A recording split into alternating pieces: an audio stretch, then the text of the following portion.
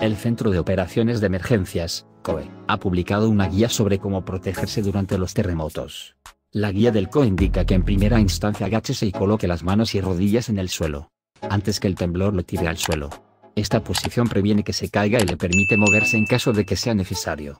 Posteriormente cúbrase la cabeza y el cuello y el cuerpo, si es posible, y colóquese debajo de una mesa o escritorio resistente.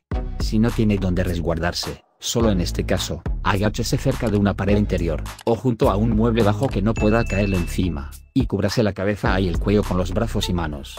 Sujétese de lo que esté usando para resguardarse la cabeza y el cuello hasta que pase el temblor esté preparado para desplazarse junto con lo que esté usando para resguardarse en caso de que el temblor lo mueva de lugar. Gracias por seguirnos te invito a ese compartir para llegar a más personas.